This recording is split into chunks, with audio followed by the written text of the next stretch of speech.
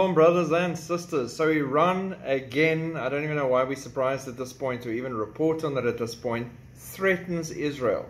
So let's just accept every day in some way threatens Israel. They've now unveiled the longest range drone in the world. Iran presented what it claimed to be the longest range drone in the world during a military parade that featured banners threatening Israel on Friday.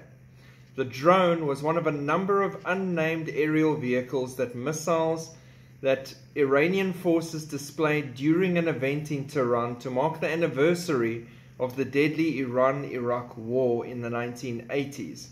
And it came weeks after Iran unveiled a drone that it claimed could remain airborne for 24 hours.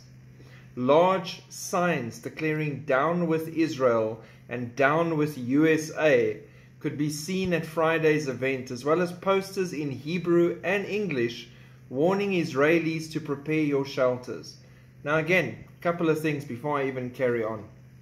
Number one, Biden just gave them billions of dollars and prisoners for free, right? In exchange for some Iranian American citizens. Crazy. And still, big signs down with USA.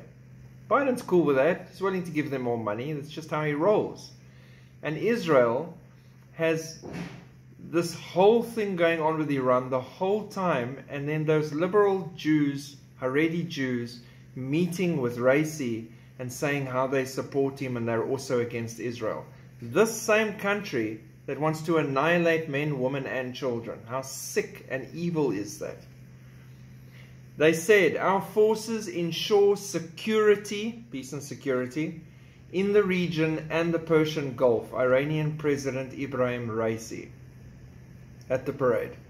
They ensure security. The same country that hijacks cargo ships that go past there, that the Americans had to move military assets there to try and stop it, that the Israelis are watching those kind of things.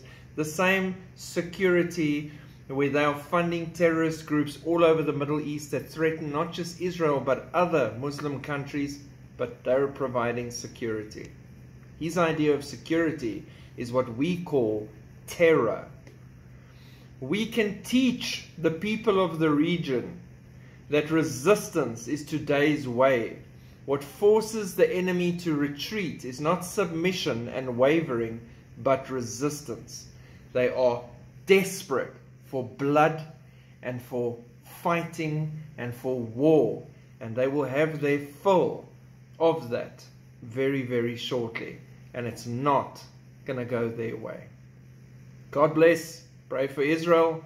Pray for the peace of Jerusalem. Shalom.